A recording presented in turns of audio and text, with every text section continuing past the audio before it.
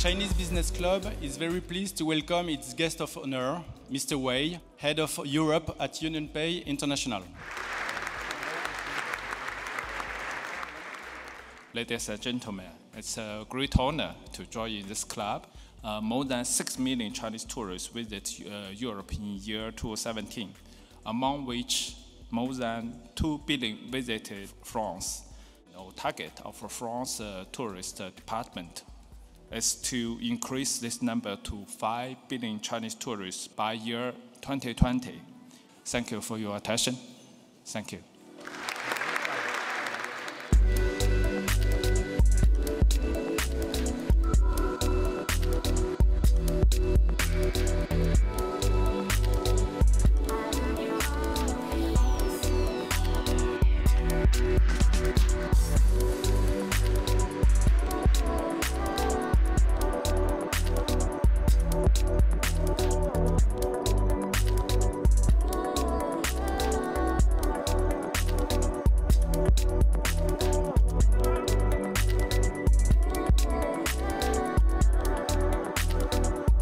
Thank you.